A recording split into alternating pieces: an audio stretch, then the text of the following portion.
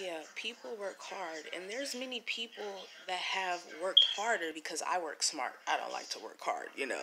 And I got my first job at 30. I was in the streets, and not even saying I was doing illegal shit, you know.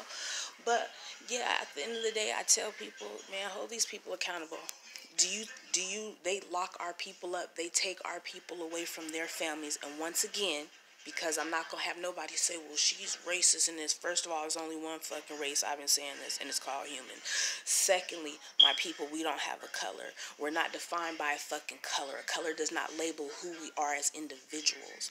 Okay, we all have the same struggles. We all then came from the same struggles. We've all been ignorant at one point in time, but we all have woke the fuck up, and now we want to claim what is ours, and we want what is ours, and we're gonna show by law why because we're gonna read apply, execute. Fuck illegal. We're to be lawful. We're to stay in honor as